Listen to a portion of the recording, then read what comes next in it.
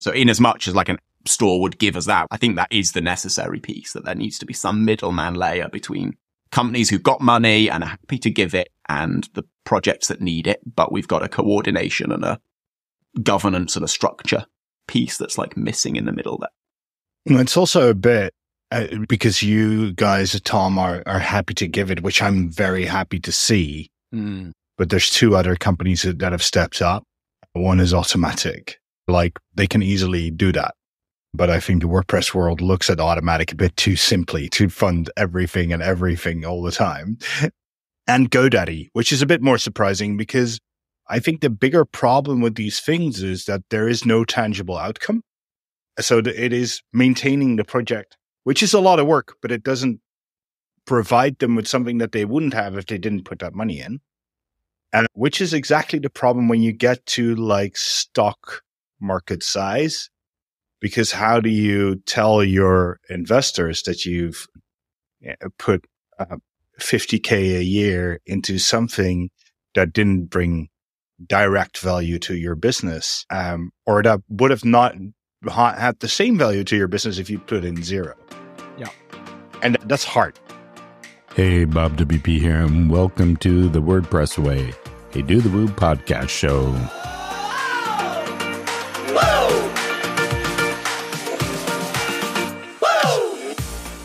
I'd like to take a moment to share that we are looking for sponsors for the WordPress Way show. If you'd like to get your brand out behind topics that are close to the WordPress project, hear the voices behind these projects, and learn more about the new WordPress way, just let us know by visiting our site at dothewoo.io.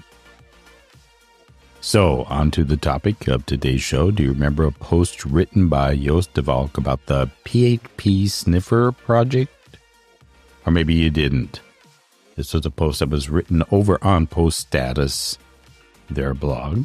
In any case, I asked him and Tom Willmot from Human Made to come in and talk about the ongoing concern about these kinds of WordPress projects and how we are going to make sure they are secure and funded for the future.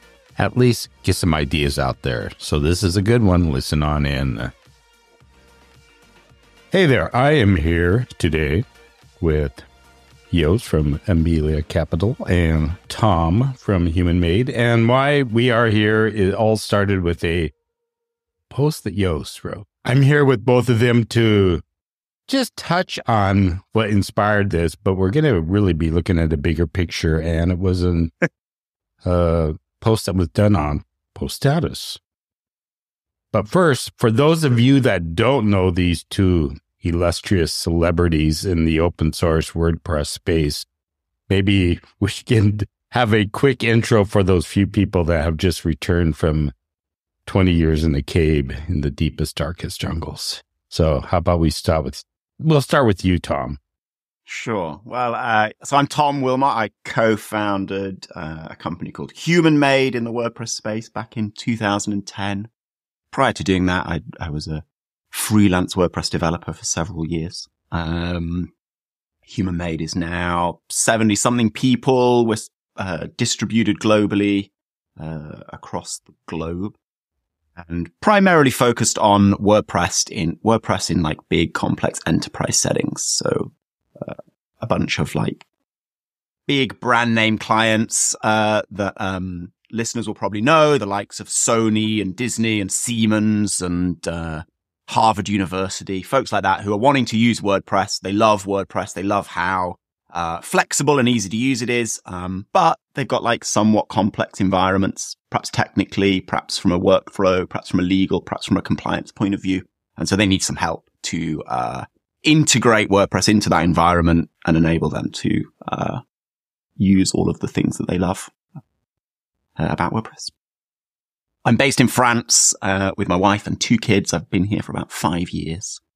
Um, and having kids kind of coincided somewhat with COVID. So I didn't travel as much this last few years as I used to. Uh, and so I've been enjoying getting back into that now that we're seeing WordCamps popping up across the world. Very much enjoying getting back into traveling and hanging out in the WordPress community, which, you know, is, uh, one of the things that, uh, was uh, very attractive to me right back at the beginning when this all started. There must have been something in the water because I think Joost probably founded. I think you founded. Uh, I started the company Yoast as in YOAST in 2010. So okay. yeah, it's uh, exactly the same time. I think it was. Well, it's not in the water. It was in the ecosystem. We were all uh, starting companies at the time and starting to figure out how to make money with WordPress. Um, slightly different journey. I founded Yoast, became the CEO of Yoast because I founded it. Uh, after a while, uh, I get that role went to my wife, who was far better at it. Um, so, um, well, we continued it in 2021. We sold Yoast. At that time, we had 150 employees, and oh, well, it was quite a big company, so we were done with it. Um, uh, we sold it to uh, Newfold Digital. Then we started building our own investment fund called Emilia Capital. Uh, we now invest in on lots of different things, actually, but only in companies that we think make the world better in some way, be it big or small. But um, basically, we're trying to do some good with the money that we made, and a lot of that is going back into the WordPress world because we love the WordPress world. Um, so you might might know some of our um, uh, portfolio companies, as we then call them, now that we're trying to be grown up investors, uh, as Atarim, Castos, Extendify, Equalize Digital. Uh, recently launched personalized WP. There's uh, so there's uh, there's quite a few of them now. Um, and we're partners at Post Status, where I did this post that we're going to talk about. Very cool. Well, let's get into that. So the project is called PHP Code Sniffer. Now, let's get in with a little context around what that is, the situation, and what brought you to write this post. So, um, PHP Code Sniffer is a tool that I think every serious WordPress developer uses to check their code for commonly occurring errors that everybody makes anyway all the time. On top of that, we have a library in the WordPress world called WPCS, which might be a bit more known to people in some cases, which is the WordPress code style, which enforces the way that WordPress core code needs to look, but that, that WordPress code style has been adopted by, well, I think almost all of the bigger companies in the space as the thing that they use to um, check their code for code style, but also for, well, for things that you can improve in lots of different ways. So it's uh, sometimes it'll recommend you to use another function when you're using a particular function because WordPress core has a better function for the thing you're doing. Or sometimes it will tell you, hey, this form you're, you're, you have here, that's all nice and, and, and fun, but you don't have any security checking on it. Or, hey, this string you have here is not translatable. It does a lot of checking like that. And I think that no serious WordPress developer should live without it and should just run it. And most bigger companies run it on pretty much every commit. So it's a tool that developers use and use a lot. Like, I'm not kidding. I probably run PHPCS, automate it in, in some way about 20 times a day, if not more and and I'm not alone. Many many companies do that. I know that at Yoast they do that. I think Human Made uses uh, PHPCS with uh, so all of their developers will uh, uh, will you'll run it every day as well. So it's a tool that we very often use, and it's not just a WordPress world. PHPCS is also used by Drupal, by Joomla, by MediaWiki, by Doctrine, by a lot of these big PHP projects. And what happened was that the developer was building PHPCS, was doing that on a company account and decided to quit. And that company decided also to not hand over PHPCS to someone else. So it became a bit of a problematic thing. Now, luckily, that's all been solved. Juliette, uh, for those of you who don't know her, you should look her up. She's one of the the heroes of the unsung heroes of the WordPress space, and in that she keeps the PHP of WordPress nice and clean and, and helps running us on newer PHP versions every time and again. she stood up and she started, she has now taken over that project. And she said, it's all fine, but I've been running WPCS I've, and I'm now also going to be running this for so long and nobody's paying for it. This needs to change. And I think that that is a very fair question. like, hey, y'all pay up for what I'm doing for you here for free.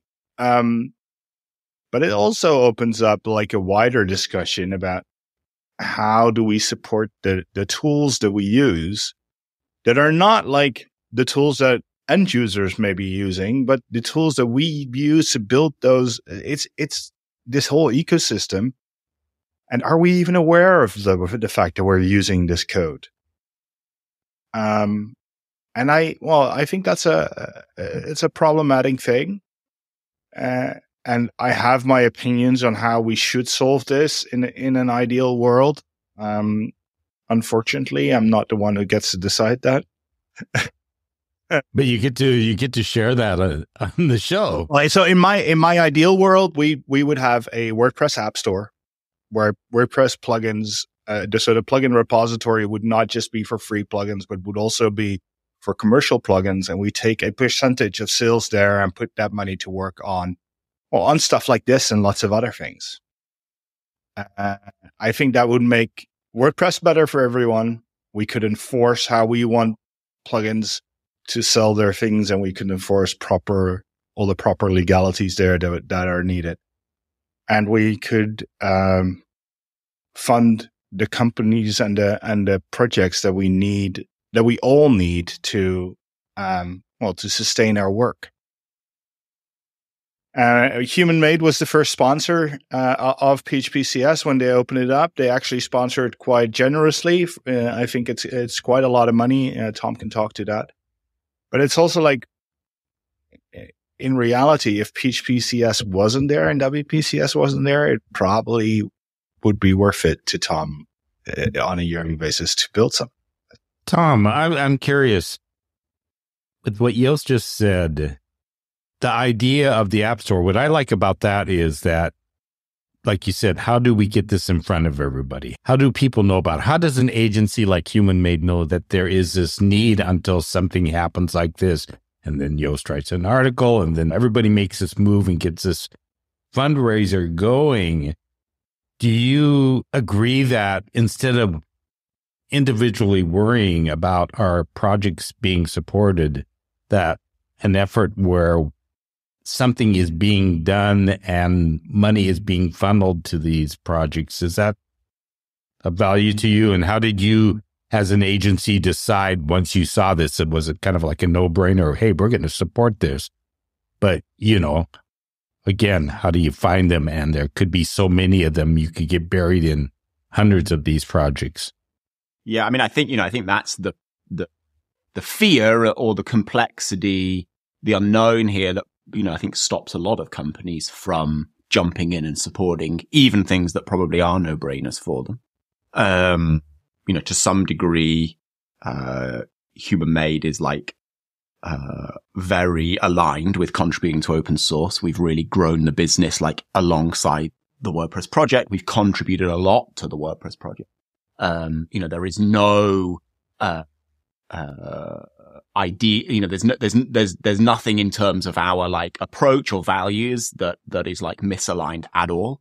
Um and yet even for us um you know essentially takes me making that decision and uh and, ta- and to make it happen. Um and so there is um you know i think is is uh you know demonstrates the the reality that there is no like systematic way for this kind of stuff to happen um, you know, it's true, I think, that there are, you know, some large number of companies in the world who don't care about this and, uh, you know, aren't really looking for a solution. But even amongst those of us that do and, uh, do recognize that, like, we get a lot of value from, uh, you know, PHP Coast and, and WPCS. Uh, we use it in all our client work. It's part of the like tool set that uh, we use to build Altis. It's part of the tool set we provide to to customers who host on Altis to help them um, uh, write kind of enterprise quality code. And if we w- did have to build all that ourselves, it would certainly cost us a lot more than, uh, than, than the amount we're putting in. Um, Uh, and so that, you know, that, that really wasn't a no brainer. But, you know, it took this project getting to crisis and, uh, you know, essentially someone, you know, someone DMing me and, uh, you know, a few of us, uh, were able to like hustle and make something happen. Um, and, uh, you know, I, I wanted to use Human Made's position in, in that moment. You know, we, I think we put in like a thousand dollars a month for a year, uh, as a, as a kind of commitment to start. Um, and then we were kind of vocal about that in the hope that that would encourage others to do the same, which I think it did. You know, I think, I think that there were others then who stepped in as well. So that was great to see. Um, uh, but that's just like one project. That's just one situation. Uh, what about all the others? Um, uh, you know, it's not sustainable for, for that to work this way every time. Um, or, you know, that's only really appropriate for a crisis situation. And ideally these things don't need to get to crisis before, uh, before something's done about them. Um, so, uh, you know, I guess I think in some ways, you know, the WordPress project itself, you know, we, we, we have some solution to this. We have the five for the future initiative, which is like, uh, structurally tied into the project there are quite a lot of companies, you know, that gives companies a way to kind of sign up and some structure around how they can contribute. I think, you know, uh, all of that could be, could be much better. There's many ways in which that could be better, but like at least it's something. Um, and, um, you know, the reality is actually all of us in the WordPress space are using and relying on, uh, many more open source projects than just WordPress. And yet most of us are like, even if we're committed to giving 5% back to WordPress, you know, it's probably closer to zero everywhere else. Um, and that's also like not particularly sustainable. So I think, yeah, there's, there's, there's, uh, I think some questions around, well, how do we make it easier for even the businesses who recognize the value of supporting open source and want to do it?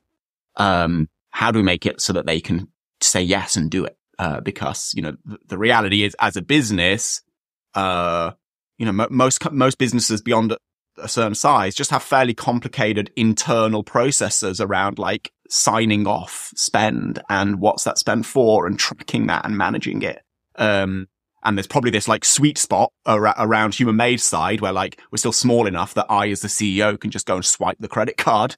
Um, and you know, and it doesn't need to get, uh, uh, wrapped up in a lot of internal process. Um, so I'm, I'm kind of hopeful, I guess, of some of these projects that we've seen. I think there's the, um, uh, the the I forget the name of it now. The community kind of contribution um, piece that I think I think is it Courtney uh, Robertson is behind. I think there's a, there's a few things like that that I've seen, which I guess are, are somewhat attempting to be that middleman layer of like, we'll help pull together the people who need money and put governance and structure around that such that companies can like click a button to support and don't need to build that governance and structure themselves.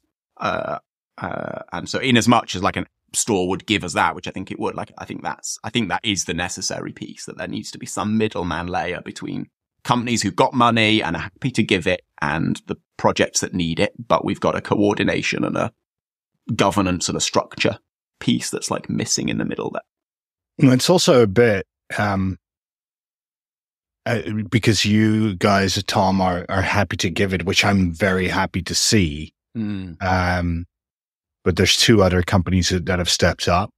Uh, one is Automattic, uh, who have similar, like they can easily do that. Um, but I think the WordPress world looks at Automattic a bit too simply to to fund everything and everything all the time. Um, and GoDaddy, which is a bit more surprising because I think the bigger problem with these things is that there is no tangible outcome so it is maintaining the project, which is a lot of work, but it doesn't provide them with something that they wouldn't have if they didn't put that money in. Um, which is exactly the problem when you get to like stock market size. Because how do you tell your investors that you've um, put uh, 50k a year into something that didn't bring direct value to your business um, or that would have not had the same value to your business if you put in zero. Yeah, and that's that's hard. In a way, eh, we should probably look at this more, and that's something that Juliette always uh, is talking about as insurance. Mm-hmm. we need this to be there, otherwise stuff breaks. I think especially the larger hosts need this to be there because if we all stopped checking our plugins with this stuff, they'd go absolutely nuts. Um, and they are the ones making the most money.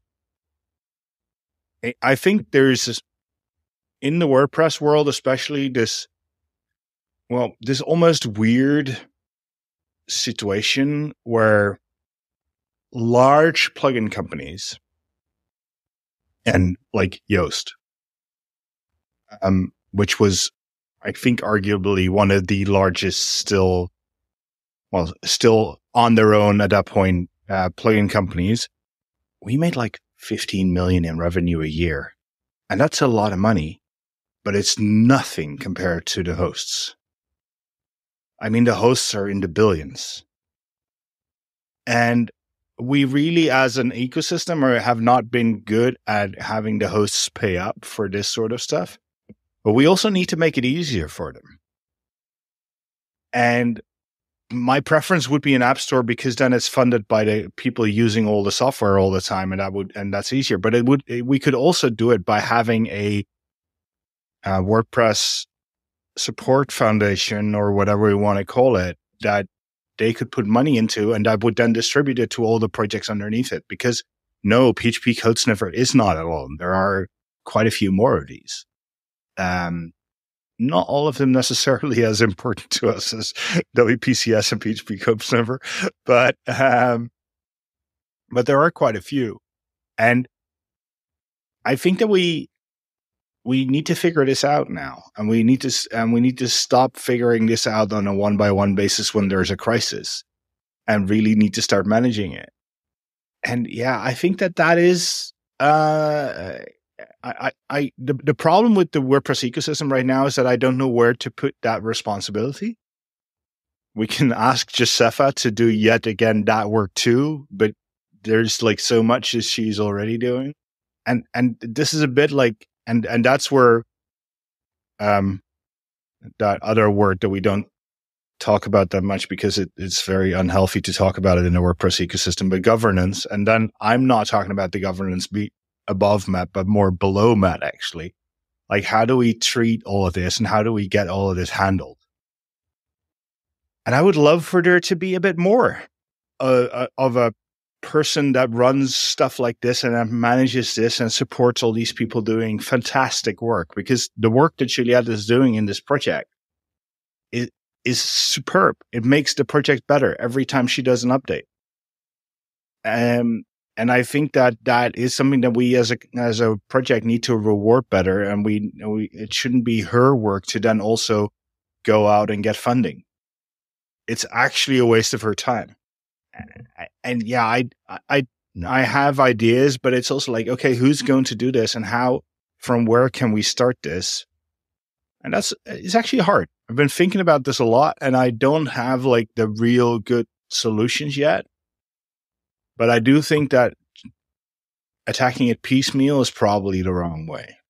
Do you think there could be scope for, you know, I guess a broadening of the Five for the Future program such that it could also funnel support to these like the the broader ecosystem of of open source projects that WordPress like also relies on, I guess. Yeah.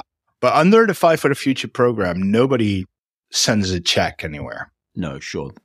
Yeah, that, that, that definitely is an aspect of it. Yeah. And it's also like the Five for the Future program sounds very good, but every um, corporate executive who you explain that program to will just laugh at you because there's no way on earth that GoDaddy or Newfold or uh, one of the other big hosts out there, and they're, and these are big companies, right? They have millions of sites running WordPress.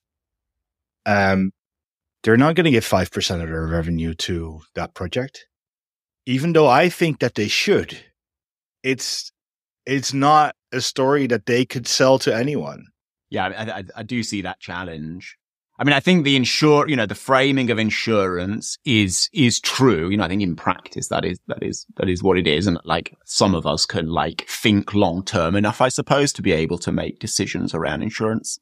Um, I think the strongest motivator, uh, is, is like more reputational. And, and I think this is probably where the project could wield more of a carrot and a stick in terms of, um, rewarding those who do, uh, commit through five for the future or whatever else and, uh, making it so that there's a cost for those who don't. And I think there is some of that. That's part of human Made's motivation, right? Our reputation and brand in some ways is built around the fact that we are, uh, close to the WordPress project, that we heavily support it. We can use that as a, one of the advantages that we then sell, uh, you know, to clients that, that differentiate us from those that aren't. It does actually bring some real advantages.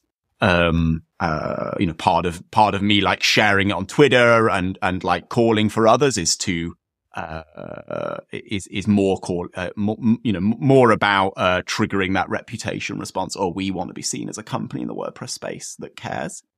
So I, I think that if, yeah, uh, like, and especially through five for the future, uh, I think that there is more, there's more that that program could do to reward participating companies and, and introduce costs for, for those who aren't, which I think could motivate even some of those larger companies who like ultimately are getting a lot of value and would, you know, the cost of like exclusion would be fairly high. Yeah, no, I agree. Um, I to a degree, I think the only thing where we're asking like a lot of money from these people is in uh, sponsoring our flagship events. Uh, that's when you really see that companies are paying to, upwards of like a hundred grand to sponsor a, a, single event. And people go like, but nobody's going to pay that. And then all the slots are sold. Uh, and it is, and it's clear that that's, that value is there for them. Otherwise, they wouldn't do that. It's that simple. I mean, it, it, it really, with the economy in the current state, it, it, it really is like if they didn't think that that would make them money, they wouldn't spend that money there. But that's also the problem. Everyone's cutting costs. Um, so we need to make sure that this is not a cut a cost that they would cut if they look at their at their spendings because they realize the value of what they're what they're doing there. And that's very hard when this is basically a free rider society right? You can uh, you can not pay and and have all the all the benefits of the tool mm-hmm. even when you're making billions of dollars. And that goes for WordPress core for so many other things. If I look at the WordPress core project now as well, there's such a large percentage of contributors there that is paid for by Automattic. It's insane. And, and uh, we can't really blame Automattic for that. We, we, we can only blame the large hosts who very often also have their own page builders that they mm-hmm. have teams of people running. Um, and then they have no one working on WordPress and, or a, a few people. And I think that well, there's a lot of these things that we, where we need to uh, change it. And I, I agree with you. Mm-hmm. a, a carrot and stick approach is probably better here than, uh, than trying to, well, sell it in other ways. But th- there is something we need to do here. It is a, a problem. I think it's not just a problem with PHPCS. I think it's a problem with more of of what we do. And we need to figure out together uh, as a community, like how do we how do we sustain sustain these things? If you start looking at the JavaScript libraries that all of us are using to do things, you'll find similar painful areas you, you'll get a headache anyway because there's a lot more and it's like it's incredibly hard to actually look at that. But and that goes for composer and for other things that so many of us use that that none of us pay for. I i think that we we need to figure this out rather quickly before we run the risk of some of these things breaking underneath our noses The problem is we'll always solve it when it breaks right there, but then we have broken yet another developer who we didn't want to break. So there's there's the kind of um, you know I guess yeah the, the how how you sell the benefit of you know participating, contributing, supporting these kinds of projects. I think another like important aspect of this is just that that the, the, the how that governance or works in terms of like deciding which projects are worth supporting, how much each project should get. Like, I think in some ways that is the, you know, we, we, we to some degree leave that to the market at the moment, which is that like the projects that everyone uses and which aren't, you know, uh, and, and, and which don't have enough people to contribute uh, you know, eventually do get to crisis and then some people do step in and, uh, you know, that somewhat works by definition because, uh, because that is what's happening. Um, and that that is a kind of market driven approach, I suppose, to solving that problem of which projects deserve what support. Um, and I think that like that's the main thing that puts even a company like Human Made off from you know, who, who want to support the projects that we're using. But like, if I was to spin up a, try and spin up a, uh, a, a process internally by where we were identifying the projects that we used, making decisions around how much we should give to each of them, like that just becomes a pretty large, uh, and complicated, um, uh, kind of process. I fully agree. In part, I'm asking for this because I want someone to pick this up and, and go right. do it so that I don't have to. yeah. That's exactly it. Yeah. Because I was going to ask you, and I think I kind of said a little bit earlier how you make those decisions.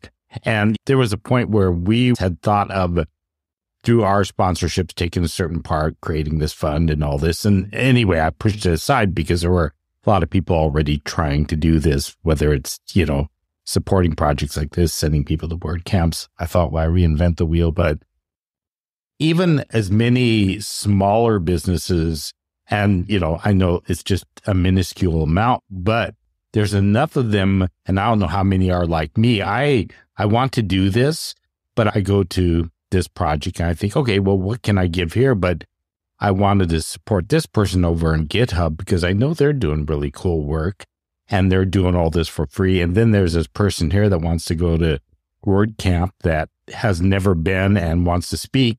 And so, like you said, yeah, I'm looking at all this. This would be great, but how can I decide I would like to be able to give a, you know, one flat amount of money and say somebody else has done all that work for me and they disseminate it out there. But yeah, I don't spend a lot of time in GitHub, but, but when I do, I end up start looking at all the, you know, can you donate? Can you donate? And I just get depressed because I think, you know, I can't just keep going from one to the other. So yeah, it's no, it is hard, and I, I mean, at Yoast we ran uh, the Yoast Care Fund, which uh, uh, where we try to uh, at least reward contributors uh, to some degree everywhere across the world, and that takes a lot of time because you actually have to get in submissions and you have to l- look at those people and then and then decide who you're going to do that, and they still run that, which I'm very proud of because I think it's it's a very uh, nice thing to have out there. And there, and there's a couple more funds that we did at Yoast, but we had the number of people to support that. It's just, it, it, it it's a lot of work. The thing is, we did that because we cared and because we felt we were as we, we were in some way, uh, well, a bit noblesse, noblesse oblige uh in, in that we well we were there. We we were the ones making money in the WordPress world. We needed to arrange this and give back. I don't think enough companies do that. In many different ways. I mean for the lar- longest time Yoast was the second biggest contributor to WordPress and it was by no means the second biggest company in the space like not even close. And only when we got acquired I realized just how small we actually were. Mm-hmm. I, I thought we we'd be acquired by a company and we'd be like ten percent of their revenue, maybe twenty. And then we were acquired by Newfold, and I was like, oh wait, we're actually a lot less than that. And, and that makes you feel very tiny, but it's also like, it makes you realize like this world is very different than I thought it was. And I think that the people in the WordPress world don't always realize just how big that market is and how much money is going around in that market. And, and that probably also means that if you start looking at that and who's make, making the money, that you also should be looking a bit more at the people making that money to actually fund these things a bit more. Uh, because, well, that's a logical like thing to do. And then we need to start thinking about, okay, but if we decide that we want that, if we want more hosts, for instance, to step in and start paying for some of these things, then how do we structure it in such a way that they can actually step in and that this is a story that they can tell their boss? Because it's not like these people don't have, these companies don't have people that work there that were, are very willing to do that. They are. I mean, Courtney is a great example, and she got uh, GoDaddy to to sponsor this. But you need someone to actually who actually understands what's happening, and that's a big ask. Yeah, I think that that is something that where we ha- as a community have to figure out how we do that.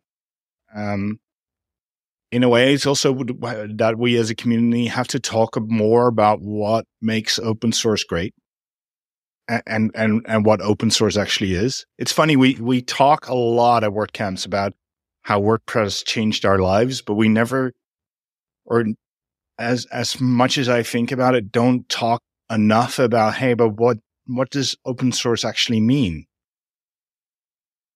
And how often do you contribute back to something that is not yours?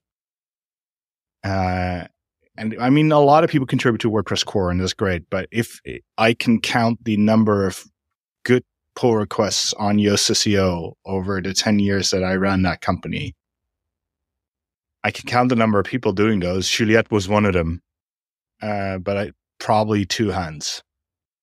And some of those people were very active and were great. But it, but it is like open source is like, is more than, than just throwing it on GitHub you know, I have this conversation with a lot of founders and a lot of CEOs of, of even just all the other WordPress companies or the other agencies, you know, been, been in this long enough now that, that I know most of them. And like, you know, none of them are like, don't want to do this. They all to some degree want to do it. And, um, uh, but, but it's like, okay, I want to do it, but then what? And mostly there isn't anything in terms, it's structured, uh, in terms of then what.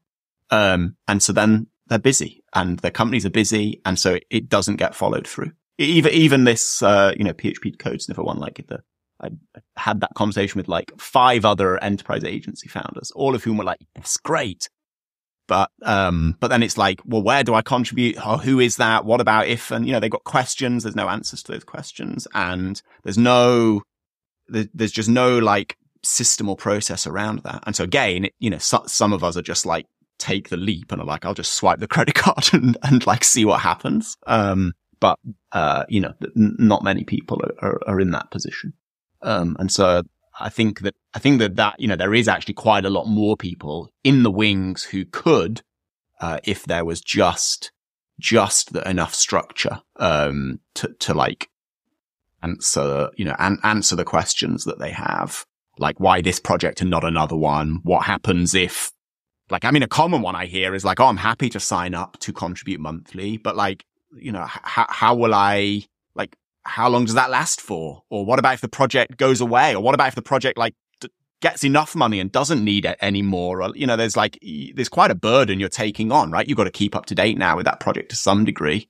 Um, cause maybe that money, uh, isn't necessary in the future because, you know, or, um, or something else is more, you know, needs it more or, just all of those things just start to turn the whole, you know, that uh, already half an hour into that conversation, you're too, you're too exhausted to swipe the credit card. and, you know, well, the, the thing is that, that um, to some degree, yeah. you don't want people to think about that. Mm-hmm.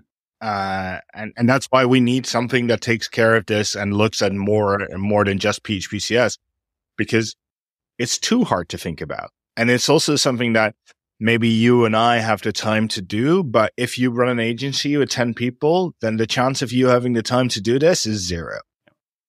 Yeah, 100%. And you'd still, you still might want to contribute a couple hundred bucks a month to supporting those tools. Uh, but you don't want to spend the the headspace to uh, to think about how is this working and where is it going.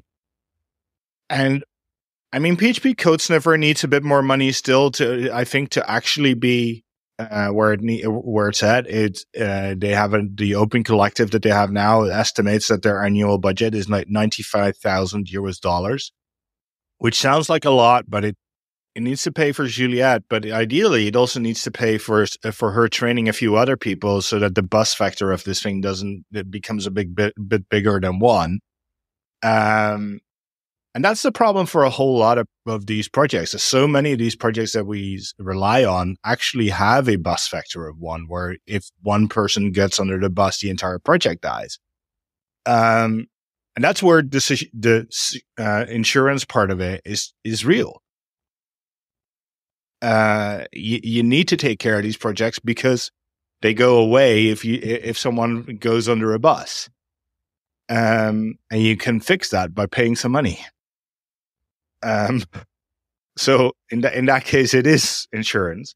But we, I do think that we need, it, need to make it easier to to make these decisions, and we, yeah, and we can't rely on people uh, having to do that on the on the, the for themselves. Well, because I mean, we just end, you know, that we there's the classic uh, um, uh, problem in open source, which I think that uh, is nicely um, visualized by, I think maybe it's an XKCD or, or something like, something like that, where you've got the kind of, uh, one tiny domino piece right at the bottom that's holding up, you know, some huge platform. Um, and that's true for the individuals who are maintaining these projects, right? But, but we also end up with the kind of corporate version of that, where there is actually like a, you know, like you say, Yoast is actually very small, and yet it was the second largest contributor to the open source project. Like that also is like, uh, yeah, it's kind of a, the corporate version of the same problem almost, uh, or the same, the same visualization. Um, and so how we spread that out uh, across many more people. Um, I mean, I feel like things like the WordPress Community Collective, which I was, I couldn't remember the name of earlier, but, but I've remembered it since. I think they do go, you know, that they do solve some of this problem. They solve the aggregation problem to some degree. And they do make it easy to say as a, as a company, okay, we're just going to put X amount per month in and they will worry about where it goes and, um, uh, make that easy. Um, and so it's good to see some of those things, um, popping up.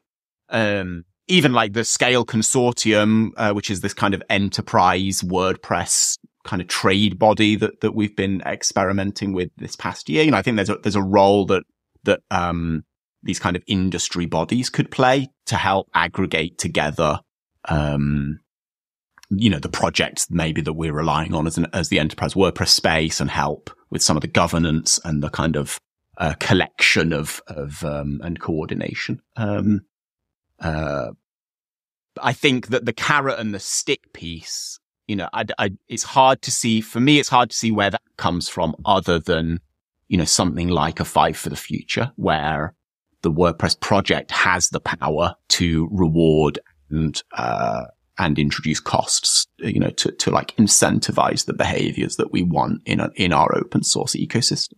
Um, and so, uh, yeah, I, I, I, don't, I don't see where that piece comes from other than, other than from something like a, a five for the future program that's, that's like run by the project. I agree. Well, I think there's a lot of work to be done. And like you said, you know, it has to be done soon. well, it, it, the thing is, if these projects break, we'll fix it if we really need it, which is true in what Tom said. There's a, a bit of a, a, let the market decide approach. The problem is that we burn uh, people who are doing really good work in the process. Mm-hmm. And there's not an endless supply of those. Exactly. Well, this has been great. I knew it would be great. And you didn't even have to worry about, you know, having anything or nothing to talk about. That's so. true. That's true. All right. Fair point. You you are right. All righty. It's xkcd.com slash 2347 because I, I, I, I, I it's by heart. yeah. Nice. Yeah. Right. That's it. Right, well, if you're listening to this uh, and you run any kind of WordPress company, go to that, look at it and feel guilty and then do something yeah. about it. take, take some action to, to do something about that. Uh, yeah, if I can do one more more shout out, that is it's still it's still opencollective.com slash php underscore code sniffer. Go there. Okay. Go there. If, yep. if you use it, pay some money. Cool. And if anybody ever wants to talk to you, either one of you about this, or they've, you know, you've put a little bit of flame under them uh, through this discussion, what's the best way for them to reach out to you? Yeah, I'm, um, I'm, I'm more than happy to chat about this, you know, especially to like business owners, you know, chat, chatting about through like why we have taken the approach we've taken. Like it's common when I'm talking to other founders or CEOs that they, they kind of have this framed backwards that like, you know, may, they have maybe some, some point in the future once we are successful and we're making enough money that, you know, then we'll be able to contribute back. And they think to some degree that that Human Made is doing it from that position that we've been very fortunate and therefore, you know, we've got better margins than them and therefore we're like giving some back.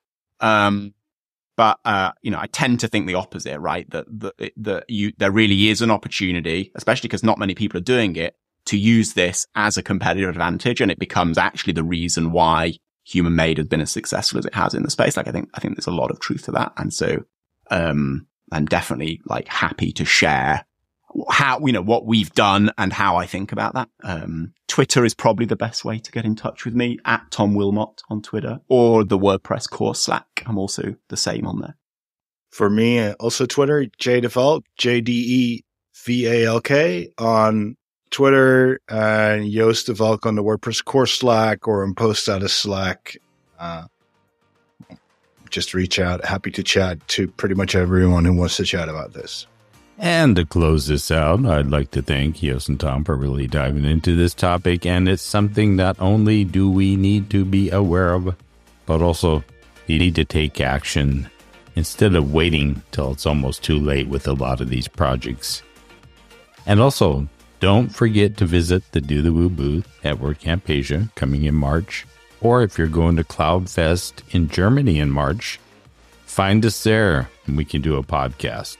So until next time, there's so many people and projects in this space that need our support.